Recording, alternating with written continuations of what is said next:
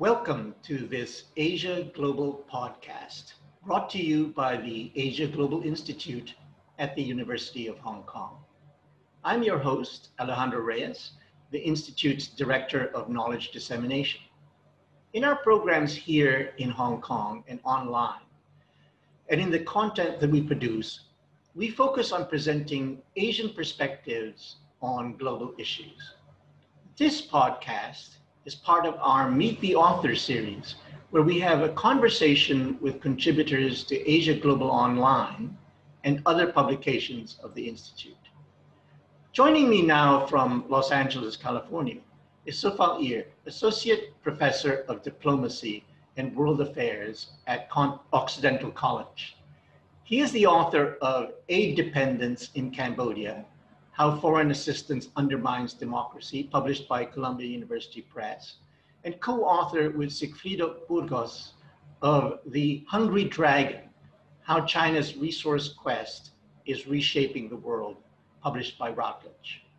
His next book is on viral sovereignty and the political economy of pandemics, What Explains How Countries Deal with Outbreaks. Very timely book, uh, but we'll get to that later. Sophal, welcome to this Asia Global podcast. Thank you, Alejandro. Very nice to see you. Now, in your article that is trending on Asia Global Online, the Institute's digital journal, you and your co-author, uh, Japhet Quitzon, write about Cambodia's dependency on China, which is the biggest investor in the country, foreign or domestic. Cambodia is part of the Chinese Belt and Road Infrastructure Development Initiative. Now, as the West is uh, punishing Phnom Penh for human rights violations and backsliding in democracy, China has been forging stronger ties with the country. Now the two nations have announced the conclusion of a free trade agreement. So you and Japhet outlined the economic benefits that the Chinese have brought to this ASEAN member nation, which is now a low middle income country. The government of Prime Minister Hun Sen, who has been in power since 1985, is counting on China to help it handle the immediate task of post pandemic recovery and to overcome longer term structural challenges for the economy, which you outlined. Now, my question is this, and because it's a question you pose in, in your article is whether this dependency that has formed, this dependency relationship will be profitable and sustainable. Will it be profitable and sustainable? Well, I certainly hope for the Cambodian people that it will offer more than it has in the past, which has tended to be casinos, um, a lot of uh, condos, luxury condos that Cambodians don't normally live in in any case. Of course, the land that it's built on has has helped those who owned it, the Cambodians who owned it. Um, it has also, of course, brought some industry. I mean, the garment industry in Cambodia is the largest foreign exchange uh, contributor, uh, and a lot of those garment factories are are owned by ethnic Chinese, whether mainlanders or whether Greater Chinese, uh, Greater China uh, citizens, um, Singaporeans, Malaysians, etc.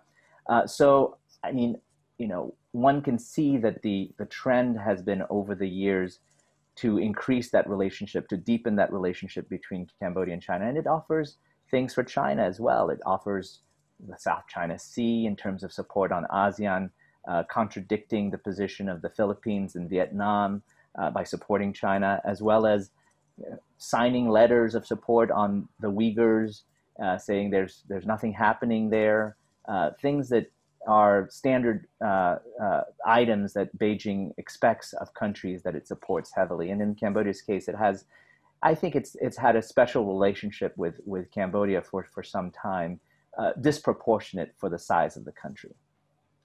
Now, but hasn't this close relationship? Um, you mentioned some of the um, issues in Southeast Asia that are kind of connected to it, but the close relationship has really put it at odds with some other ASEAN members, hasn't it?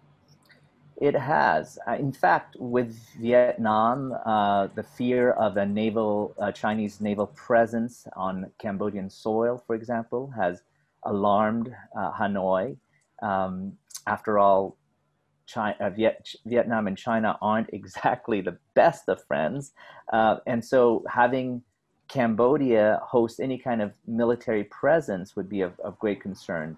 Uh, there was a leaked memo or agreement uh, in the Wall Street Journal. They never actually had a copy of it, but they talked extensively about it as though they had seen it, which clearly uh, underlo- un- underlined uh, the nature of that relationship. Passports for Chinese uh, officers, uh, Cambodian passports, which would essentially deputize them as Cambodian citizens, and in theory, not violate the Cambodian constitution, which says that there cannot be foreign troops on Cambodian soil. So if you're going to make them Cambodians, then perhaps you're interpreting the law very narrowly and saying, well, they're, they're Cambodians now. Of course, they're not actually fighting for Cambodia, they're fighting for China. And so the concern mm. by uh, Washington, D.C. is that the flag that will fly at Ream Naval Base will, uh, in certainly in a portion of it, will not be a Cambodian flag there. Um, as well, in Koh Kong, there's a uh, mega project that appears to be uh, building a deep sea uh, water port and a runway that is the longest in all of Cambodia, far, far longer than seems necessary for the middle of the jungle.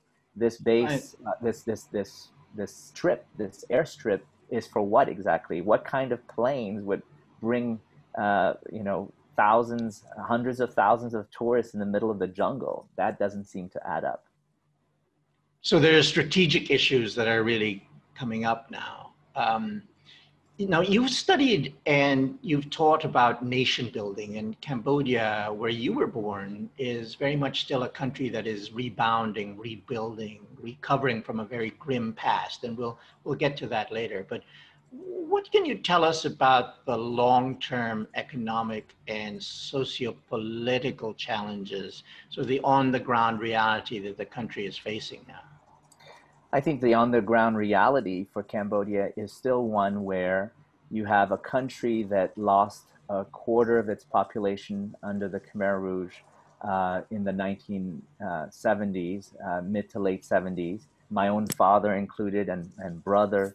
Um, but you have basically a country that began from a very low base, uh, was very poor, and actually one could argue was deprived of access for much of the for the 1980s when it aligned itself with Vietnam and the Soviet Union, and this was sort of cut off um, by the West. And uh, essentially, from there, after the end of the Cold War, became a kind of democratic experiment in uh, in UN peacekeeping and and UN organized elections, and and simply had 25 years of relative democracy, which have now apparently ended because uh, the direction of the prime minister, who has been in power for 35 years, Prime Minister Hun Sen, is simply that the country cannot either afford democracy or the rule of his party and of himself needs to continue without the challenge of democracy. Um, the growth has been impressive. I will say that if you're only looking at GDP growth, I think 98 to uh, 2007 was something on the order of close to 10%. After that, it's been 7%. So some of the fastest growing uh, uh, performance uh, out there in 2019, it was the 11th fastest growing country. Uh, so if one cares only about dollar signs and not how they're distributed, of course, that looks very impressive. But the reality on the ground, as you were asking, Alejandro, is that people are still desperately poor. The uh, maldistribution of income has has led to, I think, a bifurcation in society of of, of Bentley riding, literally uh, Bugatti Veyron uh, owning, uh, you know, 0.01 percenters, and then you've got a thin middle class, and then you've got a large, large number of people. Of course, depends on where you put the poverty line. If you put the poverty line too low, it looks like poverty is decreasing. But the reality is, uh, if you expect people to live on a dollar a day in Phnom Penh, they're not really living at that point. Now, you've written also about dependency and how economies that might uh, become dependent, too dependent on uh, development aid and assistance, and how this affects democratic development or how it affects democracy or the quality of democracy in these polities. Um, how, how, do you see that in, in, in, in Cambodia specifically, but I guess in general, because you, you've looked at other, other countries in this situation?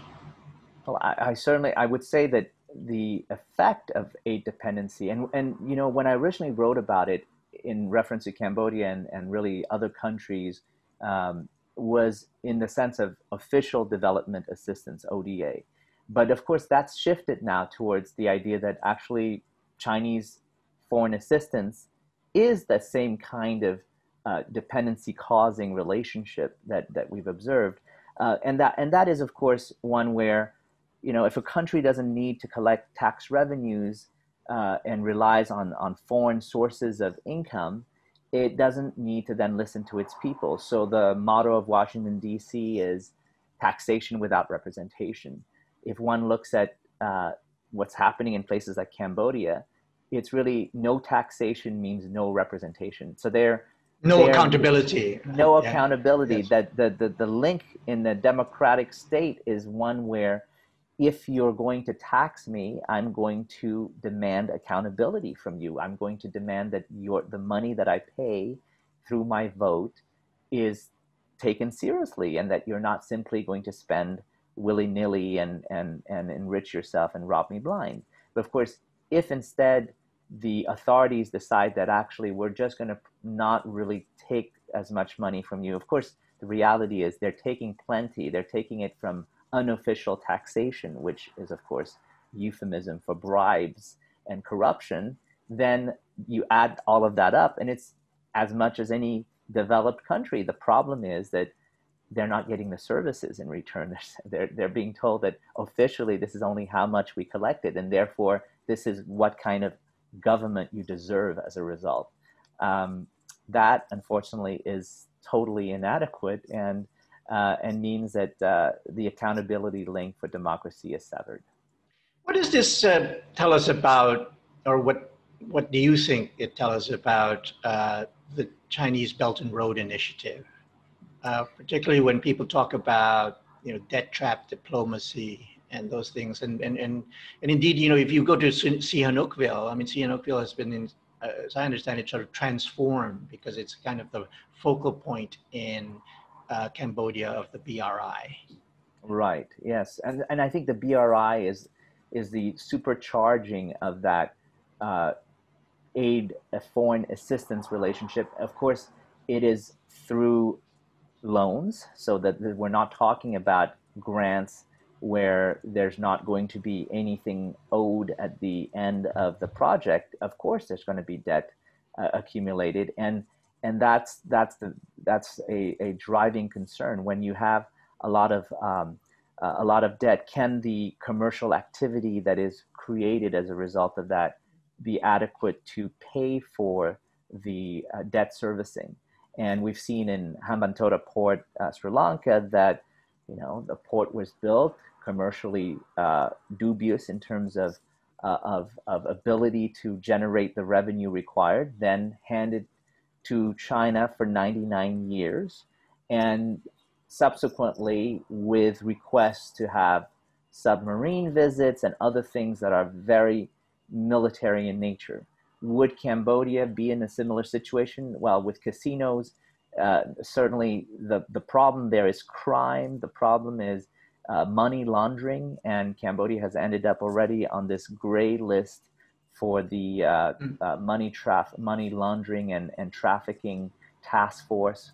Clearly, uh, I think uh, a problem for a country that uses dollars, so it makes it very easy to bring in suitcases of money and uh, plunk it into a condo and say, okay, well, this is your investment, and now you have a title to it, and and nobody can take it from you, and nobody's asking, know your customers, any of those things that other countries, developed countries, would be asking about.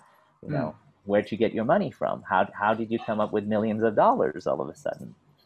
Yeah, no, interesting. Now, now as I mentioned, you were born in Cambodia, and your journey from Phnom Penh to Los Angeles, I think most people would agree, uh, has been epic. It starts in 1975 when the Khmer Rouge take, uh, took over. You know, this anti-society group that aimed to reset Cambodia, disrupt and change everything from the name of the country to the way of life. Uh, I'm wondering if you could just sort of tell us a, a, a bit about this sort of epic journey um, that really your mother was the one who, who guided you and your siblings uh, from uh, Cambodia to Vietnam to France and then to the United States.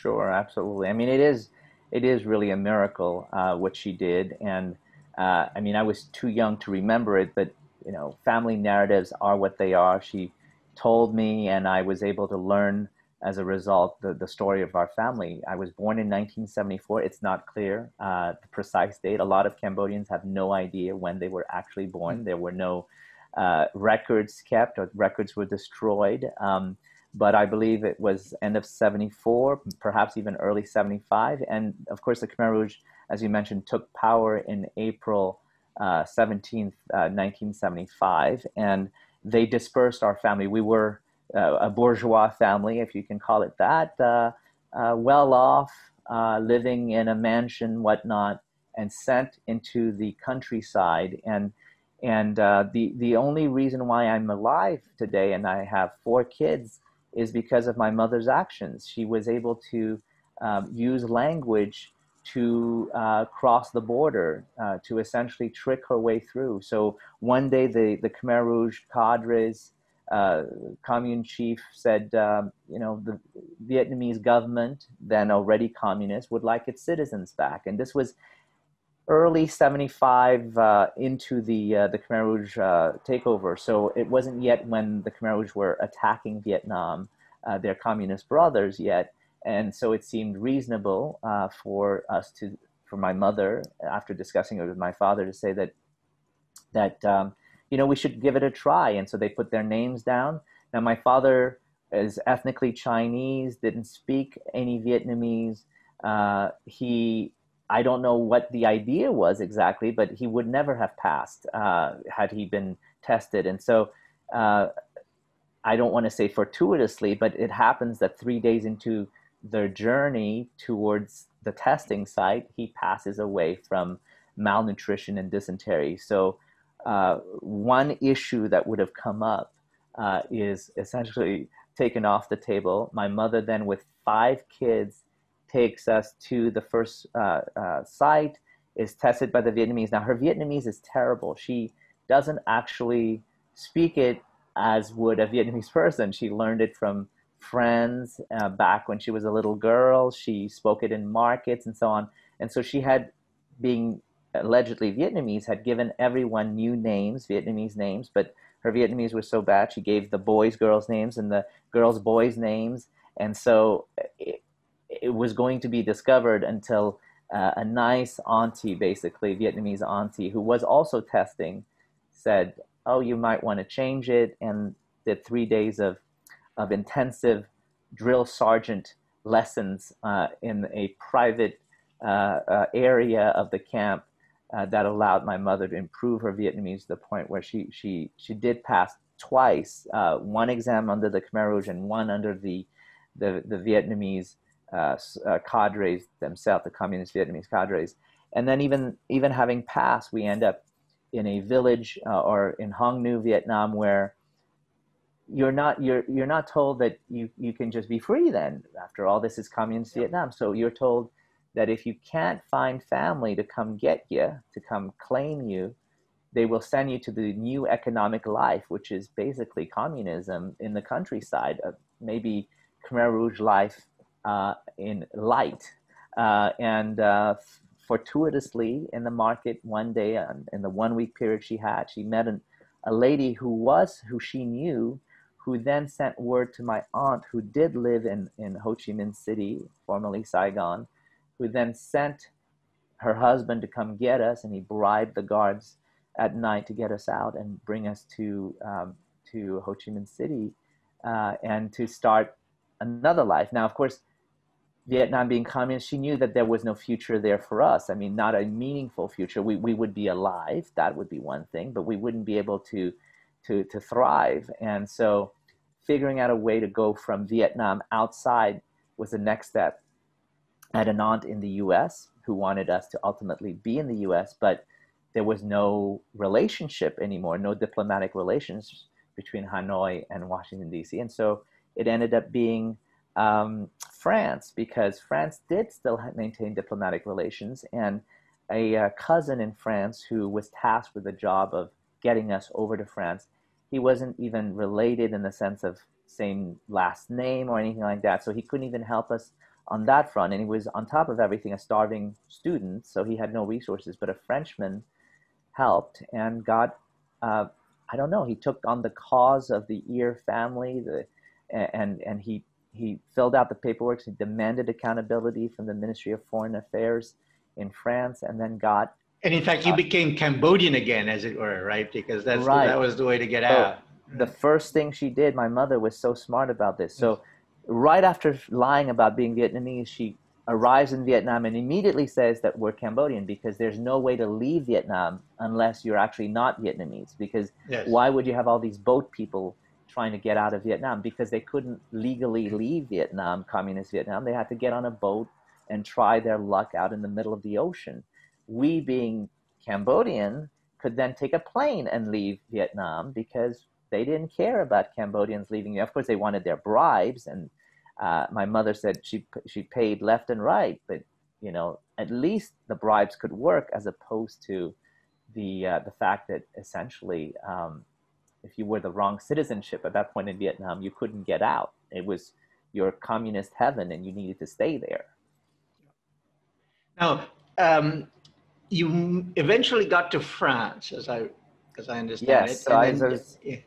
I was saying, yeah, we I got to France, and yeah. and it was seven years in France, and we were supposed to actually leave France more or less within months. In fact, I have a letter from the International Rescue Committee sent to my mother saying that your plane tickets are ready. This is the date you're going to leave to go to the United States.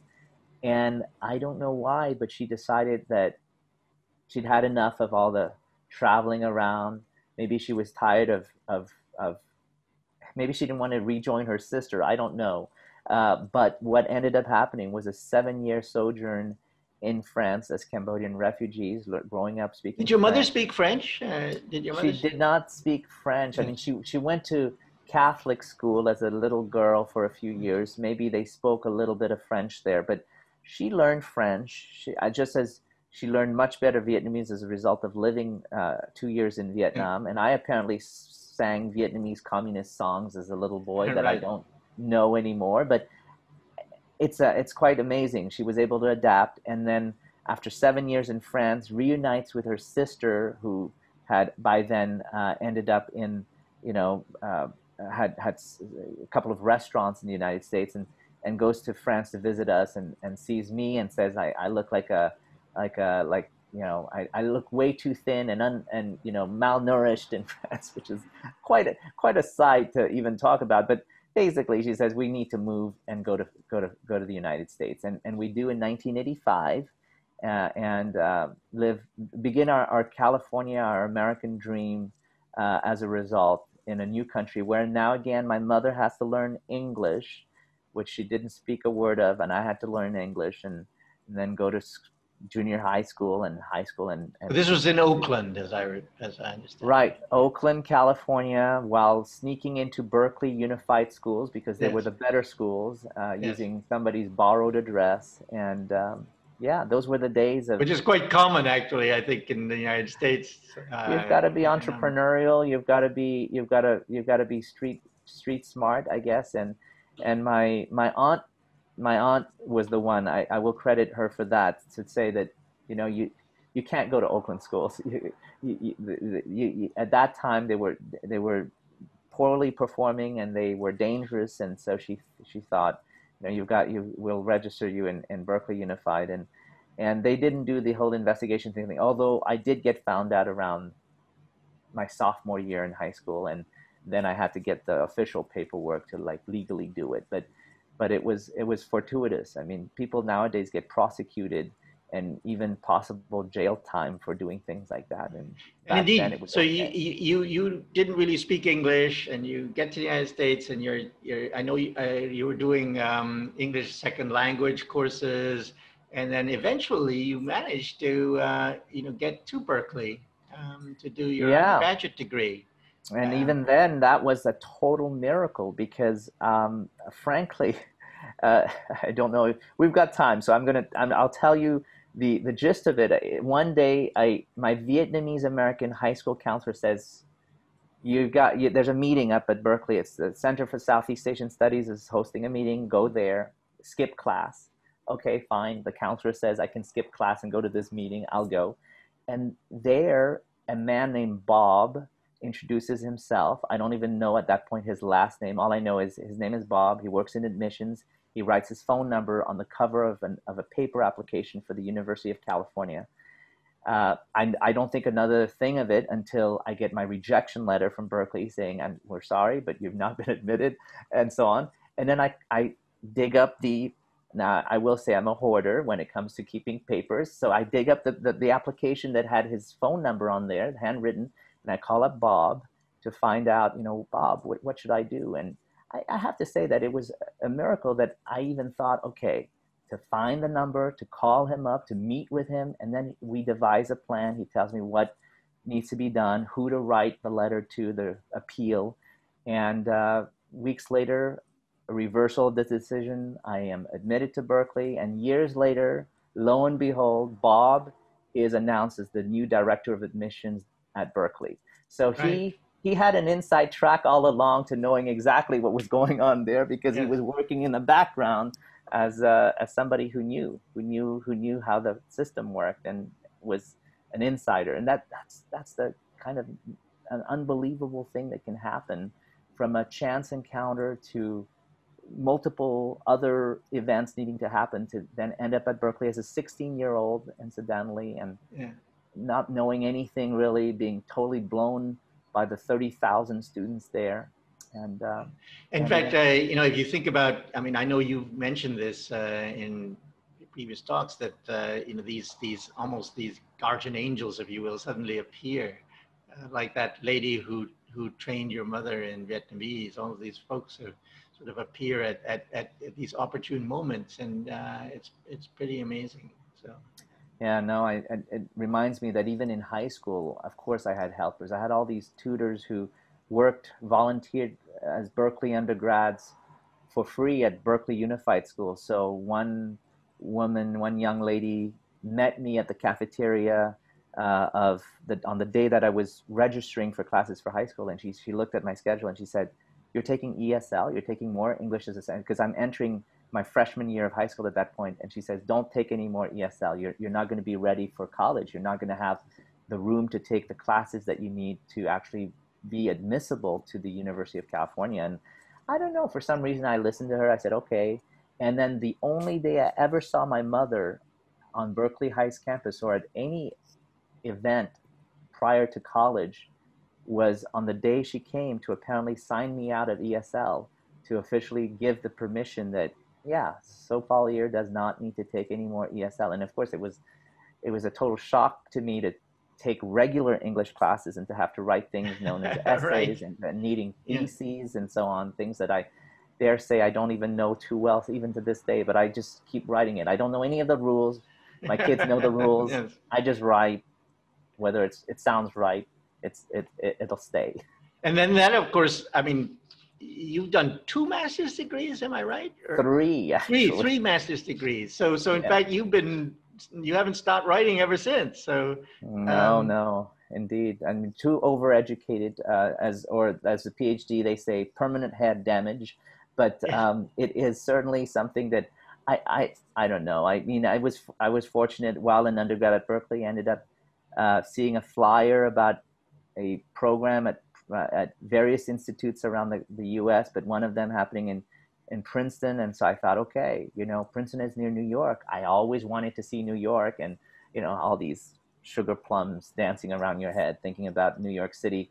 And so I apply for that, and I also apply for the Berkeley one. And I'm always thinking to myself at that point that actually, you know, if I get into both, I'll just do the Berkeley one because it's safe. It's near home. It, it's not far away. And then when I get rejected to the Berkeley Institute and end up getting into the Princeton one, it takes a, a, one of the, the the lady who who wrote the letter to admit me, who I thought was a man, incidentally, Wardell Robinson Moore, actually actually convinces me that it'll be okay. Everything will be fine. You're gonna be here. We'll take care of you. You'll stay in a dorm for a few weeks it'll be great. And I do, and my goodness, it, it's life changing yeah. uh, in terms of experience. And, and then I end up end up doing my master's at Princeton, the first of, of uh, the first of my first three of three, yeah, yeah. And, and then exactly. eventually you did go back to Berkeley to do your PhD. Am I right? I yeah. did. In fact, I I'd been working at the World Bank for three years after Princeton, which was actually a, the dream of my of my life. It was. Yeah. Um, I remember being asked uh, one day during that summer institute, hey, what, what do you want to do uh, down the road? And I said, oh, I want to be a governor of the World Bank. And I had no idea what it meant. It meant that I would be, uh, you know, a finance minister for my country because those are the governors of the World yes. Bank technically. And so I didn't even realize it. I just thought, oh, multilateral development institution, multi, you know, it, it just seemed like something to say. And then to have that opportunity when I finish my my Princeton masters um, from what was then known as the Woodrow Wilson School, which is now known only as the Princeton School of Public yes. and International Affairs, yes. is, is is is is is really quite amazing. I mean, I didn't even I the I got the job at the World Bank because um, I had given one of these workshops, volunteered to just do a workshop on how to make web pages, home pages. I had made one back in '94, and so I said, "Oh, I know how to make it. I'll I'll come to the computer lab at this time and and I'll teach you how to make a home page." And from that, a, uh, a, a, a, student who was graduating when I was in my first year, she was in her second year graduating, remembered. And so when there was a knowledge management opening at the World Bank, she said, Hey, Sophal, you know, you'd be right for this because you know all about this web stuff. I didn't know much about it, but ended up learning about knowledge man- management, ending up learning about social protection, which I had no idea what it was. I'd never heard of the term, but ended up working on social protection and and these. and then, as I understand it, when you did your well, I, I I don't know where you fit in the other two master's degrees, but you eventually got to doing your PhD work, and you went to work for the UNDP.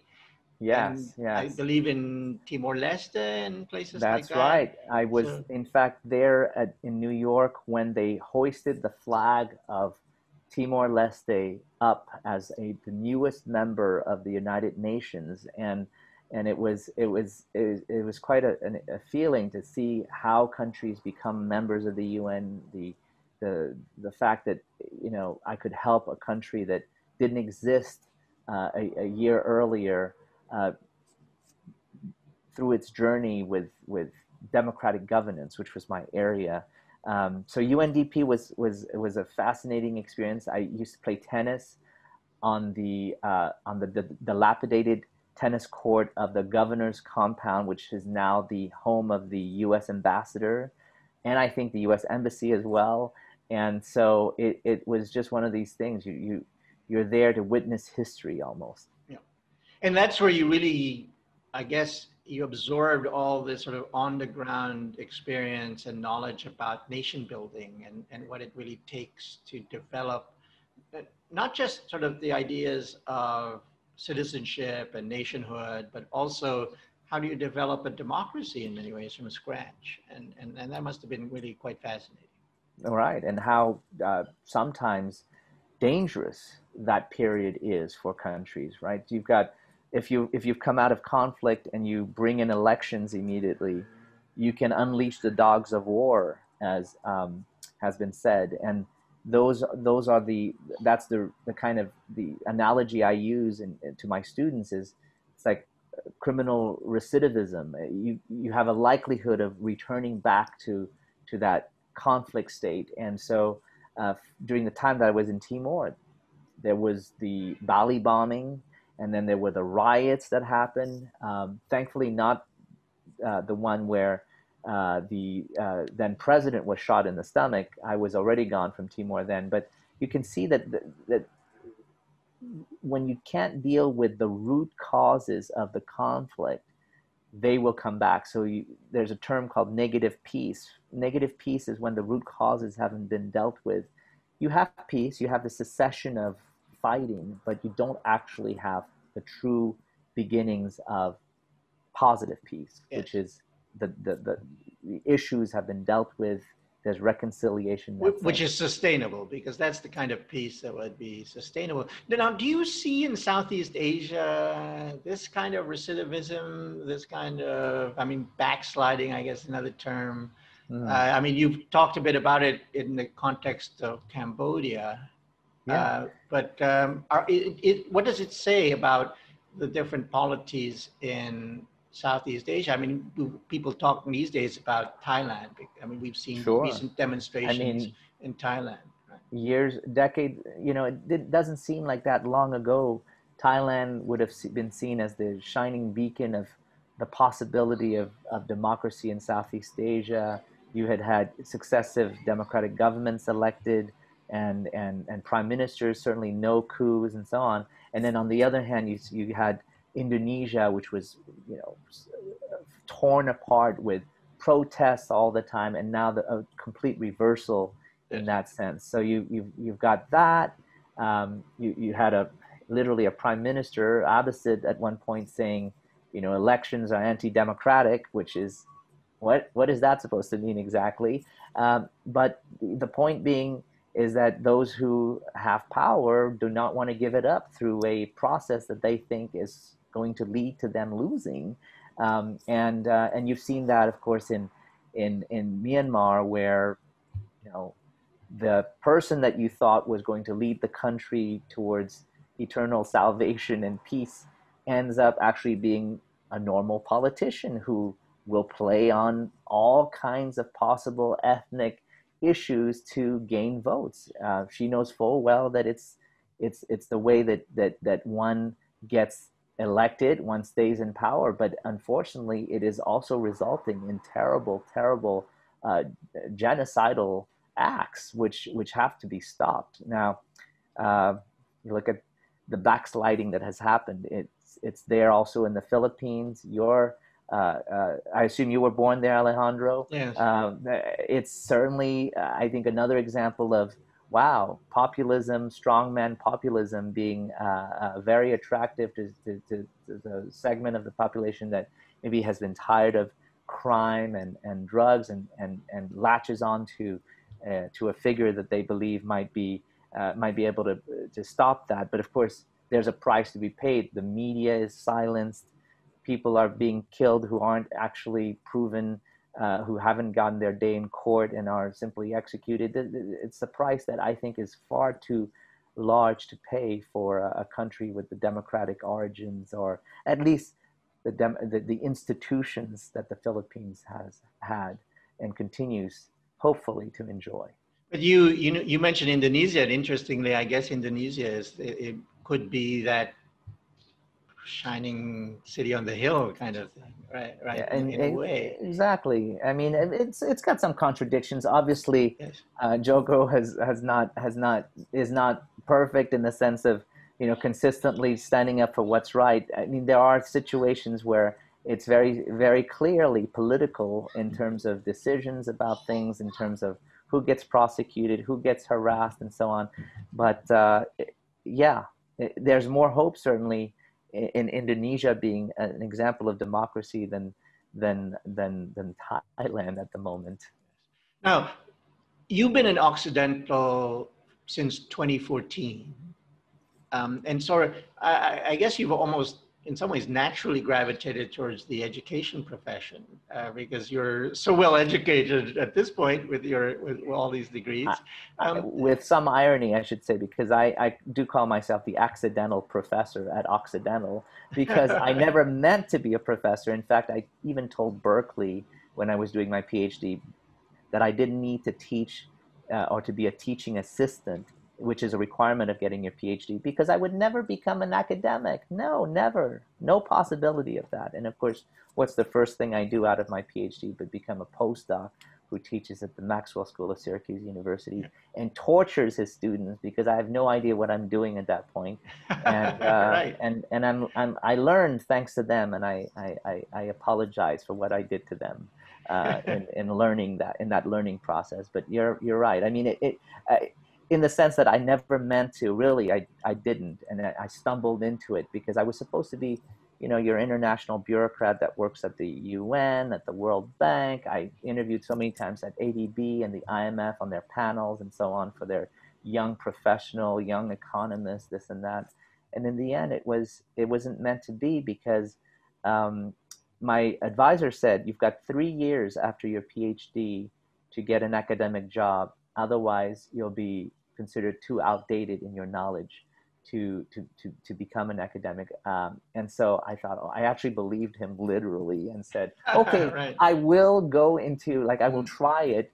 And then um, you know even for the maxwell school that was that it was a miracle. I, I didn't think i'd have a shot but apparently the the professor uh, jeremy shiffman whose position i kind of he went on sabbatical that year to the center for global development read my uh, cover letter. I talked about being a Cambodian refugee, etc. And I don't know, he he had something where he understood the struggles, uh, and he, he and and and and um, his dean at the time said, "Okay, well, we'll give him a chance." And, and so, getting my first shot without any interview or anything like that, because it was just a postdoc thing, and you know. Now, um, tell us a bit about your research and in, uh, in this forthcoming book. Um, what sort of work are you doing? And this book, uh, as I uh, mentioned, the title is Viral Sovereignty and the Political Economy of Pandemics What Explains How Countries Deal with Outbreaks, which is just so incredibly timely. It's like,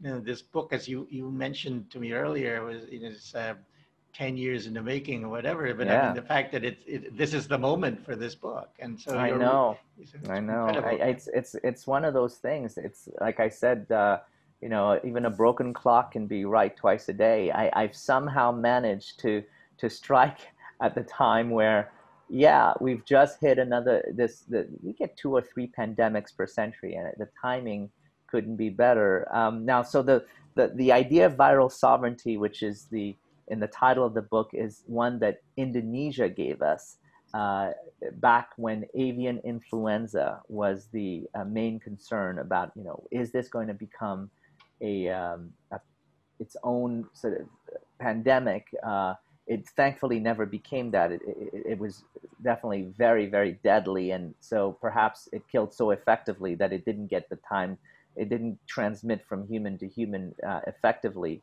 Uh, but viral sovereignty was this idea that uh, the then health minister of Indonesia, uh, Siti Fadilah Supari, introduced to the world, where she argued that viruses were the intellectual property of countries in which they are found and therefore cannot be taken out without the permission of the country, the government, because like flora and fauna, and she used the, the Flora and Fauna Convention as a basis for this argument, viruses were somehow the property, therefore not to be removed and tested and, and have vaccines created. And and she it wasn't that she was anti-science. No, she was she actually was arguing that countries like Indonesia, which didn't have the technology to produce their own vaccine, needed to have the leverage of the actual virus, the viral isolate, to negotiate with Baxter Pharmaceuticals and other other uh, you know uh, pharmaceuticals to to essentially say, okay, well, if we give this to you, you need to give us a vaccine at a reasonably low price because we helped you. Um, of course, it's a danger when a country doesn't share uh, viral isolates, when it doesn't uh, participate in the international health regulation of the World Health Organization. That is the fear that uh, countries would allow uh, a virus to spread uh, un, in, unhindered without, you know, this is the kind of argument China makes in, the, in that it says, you know, WHO, you can't come in. You, you have to get permission from us to send a mission to our country and investigate the origins of, of, uh, of the coronavirus. Um, it, they don't call it viral sovereignty, but it's clearly the argument that the sovereignty of the country uh, trumps any right to you know come in and investigate things and, and do things willy-nilly. And is it a danger? Of course it's a danger. China does have the technology in that they can make the vaccine and they are making uh, putting on uh, various uh, phases of of their vaccine trials already. So so that's not the the basis of not letting people in. That's about regime survival. That's about keeping the uh, uh, Chinese Communist Party at arm's length in terms of blame for what happened in Wuhan. Um, in Mexico, uh, I studied the case of uh, of swine flu, H1N1, the last pandemic we had in this century, which uh, came out in 2009, and and how Mexico reacted. And uh, it was actually at a um, World Economic Forum meeting on Latin America that took place in Puerto Vallarta, where at the time um, uh, the, the, the, the, president uh, of Mexico spoke to, to, the, to young global leaders like myself about that incident. He said that uh, essentially it was like one of these 3 a.m. phone calls where he's told, you know, there's, a, there's, there's been an outbreak of an unknown uh, uh, influenza virus and what should we do? Should we should we keep it under tabs, uh, under under wraps, or should we uh, reveal to the world the problem and be transparent about it. And he actually made the decision that Mexico would be transparent about it, would would share what it knows, would allow the U.S., the CDC, to come in to take samples. The Canadians also helped uh, tremendously, and and so um, so these are the different kinds of reactions of how countries handle outbreaks. Was it because Mexico borders the U.S. and therefore cannot could not have hidden it too long because of the amount of transboundary travel that happens, or is it because you had a government, a president who was who was more open to the idea of transparency than the current one, AMLO, who apparently argued that you know it is in the Mexican nature to embrace, and we're not going to be stopped from embracing even during COVID. And, and of course, the deaths start to pile up, and it's time to actually do something about it. But remember how Mexico had all the social distancing. They they pioneered this, and it's kind of amazing that in the second, in the more serious outcome of you know with COVID as a pandemic, they they they totally didn't want to go down that road. Maybe it was because they already experienced the economic costs of of swine flu and how it took one percent of their GDP during the last global recession, which ended up doing a total of 5.5 percent on their GDP. But they uh, they didn't want to go down that road. It may end up being a very very big mistake uh, from the standpoint of the number of lives lost, um, the uh, and the cost, the, the human toll. Now, as as somebody who's you you, you studied um, examples of genocide, uh, particularly of course in Cambodia, and now we have the pandemic. That, does the pandemic suggest that the, the concept of the responsibility to protect, R2P, which has been accepted as a norm in international relations, that it's far too limiting. Now, many people say R2P is dead because we've had the Libya and Syria uh, differentials and how it was invoked in one and not in the other. Um, and, and that, you know, nobody is, is going to support R2P anymore going forward.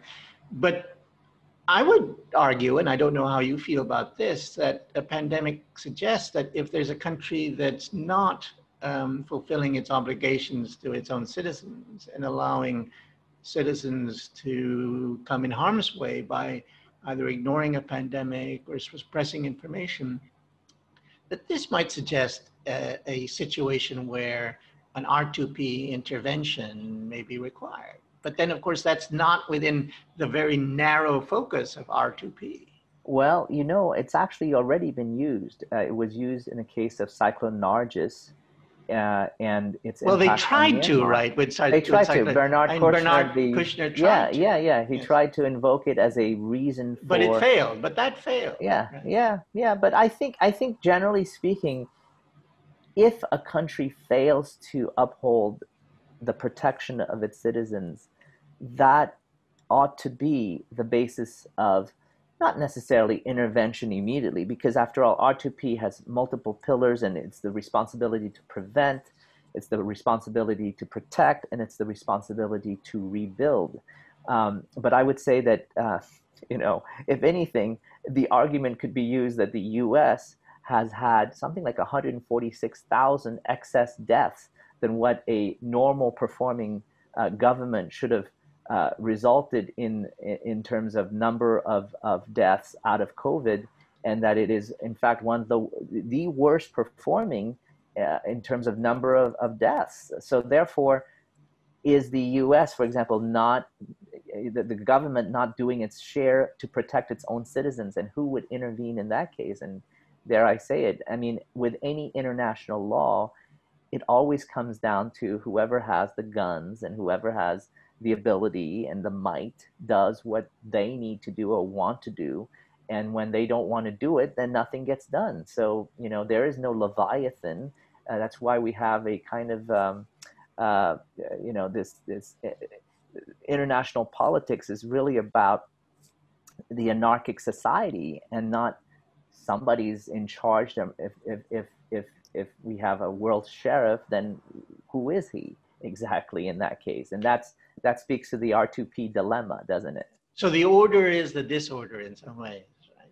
All right. Well, it, it, it is really a, a situation where, uh, where the resources, uh, whether it's the weapons or the gold, uh, uh are the, the basis of, of action. And as you well know from many meetings at the WEF, uh, it's cynically said that the golden rule is, in fact, whoever has the gold makes the rules. And we see that happening uh, now more than ever in terms of China calling the shots, having the resources with BRI, with uh, an economy that appears to have already weathered the storm. In fact, they're probably asking what what outbreak, what is we're we're living our lives normally, and the rest of the world is still suffering in uh, shutdowns. Now, I, I'm I'm aware that we're uh, now closing time, getting close to time. And um, uh, so I just want to ask you about the pandemic. I've been asking all our contributors, uh, you know, how have you been doing and your family been doing through the pandemic? You are teaching already. The uh, classes have resumed at Occidental. Uh, but I, I, get, I take it that you're uh, always on Zoom teaching. This and, is my um, classroom. Yes, it's your classroom. My bedroom. Yeah, my and, bedroom. And, so, and now you have uh, concerns about you. You mentioned to me on email your concerns about a twindemic, having the flu and COVID nineteen at the same time. So, what's it like on campus? Are students back, and how is your teaching going? And your family, well, how are you coping? There, there was magical thinking for much of the summer in terms of uh, believing that somehow we would be able to return to campus in May and in June. That was the line. And by July, early July, it became clear that nobody, first of all, even if the students returned to campus or a fraction thereof, the faculty was refusing to appear in person in, in a classroom. Uh, so, so it, would, it was going to be this kind of false advertising where okay, well, you know, we invite you back on campus, but actually all your classes will be done remotely while you're sitting in your dorm room. Well, they got the message that basically it would be better to stop the magical thinking and to say, well, we're going to actually just go remote. You know, let's not proceed with the plan to bring people back. After all, it, w- it would have cost us millions to do all the testing and all the uh, personal protective equipment purchasing that was required to actually accommodate in-person um, students on campus, never mind faculty on campus, but they were showing classrooms, you know, building tents outside so you could teach outside. Well, oh, right. it's kind of hot out here. Uh, it, it's going to be difficult. And then, you know, yeah. how are you going to do your PowerPoint slides and so on? It's, it was a challenge, but, but so we're all, we're all online at this point. Everybody's at home where, really it's safer. Um, as a result, uh, they, are not doing the partying that some of the campuses in the United States that have returned to in-person, um, whether instruction or in-person uh, students meeting each other. And how are you going to tell students that college life isn't about socializing, isn't about partying? That's what they pay for. That's what their parents pay for, and yes. that's how they raise money when they, you know, right. when Princeton launches you know hundred thousand dollars of fireworks in the in the air at reunions. It's about getting those tiers and those checkbooks open so that they can get you know all these donations that are that that make the university so incredibly well off and the students so well off as a result. But the reality is that you know we have to be prepared, and so I took the whole family right before this interview, in fact, uh, to get our flu shots because I knew the uh, the flu vaccine has already yeah. been released, and and I don't want a situation where uh, because of the flu, never mind the uh, the the coronavirus, we would end up being sick uh, and then having to go to the hospital or clogging up emergency rooms and so on. Resources that are scarce already for those who need need you know need need ventilators and and, and critical care and to take care of that. And you know that's that's that's really uh the being prepared in that situation is is is the most we can do. And and the kids they're all doing remote learning. So they're uh, 8.20 a.m four kids on computers talking to their teachers getting zoomed out just like i am from hours and hours of staring at screens. But we won't we certainly won't get coronavirus from a computer uh, from staring at a computer. We might get migraines though but that's that's just the reality of and the situation of, in uh, la is uh, up and down as i understand it. It's right been... so it was it was terrible uh, only uh, weeks ago. It's now uh, becoming better and we're soon i think going to be below 200 cases per 100000 which is the uh, the cutoff for uh, for getting off the watch list and, and actually dimming the switch to uh, to reopening some activity like hair salons and so on indoors.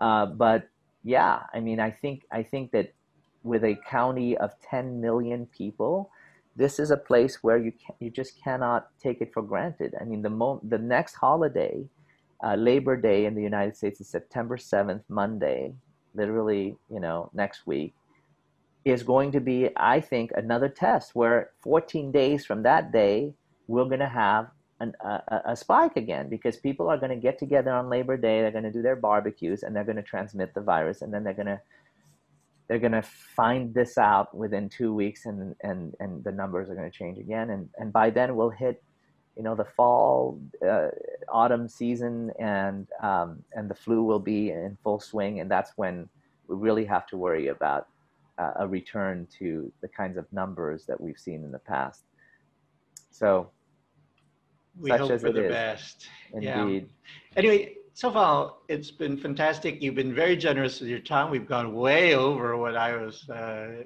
my pleasure what i had how i had uh, sold it to you. So uh, thank you very much for sharing your experience your thoughts and in terms and, and indeed your your really epic story especially uh, about your your mother's heroic efforts to to get her family uh, through from vietnam to france to to uh, the United States. It's it's Indeed. pretty amazing.